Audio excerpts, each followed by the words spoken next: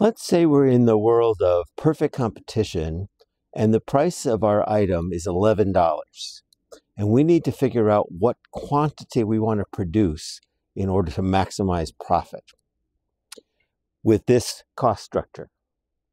Well, the rule that we learned in class is that the firm in perfect competition should produce the maximum quantity where the marginal cost is less than or equal to the price.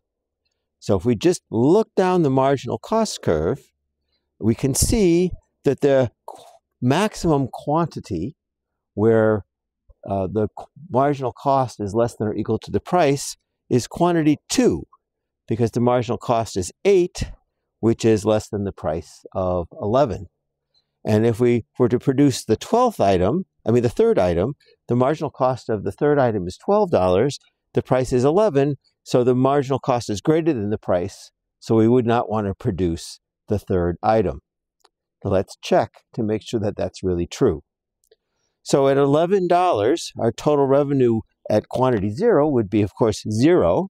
So we're not selling anything, we're not making any money.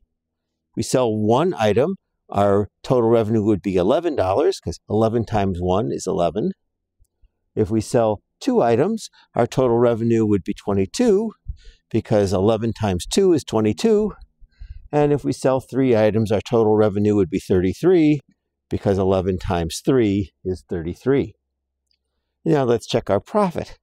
Our profit at quantity zero would be zero minus seven, so that's negative $7. Our profit at item one would be total revenue 11 minus total cost of 12. That's negative 1.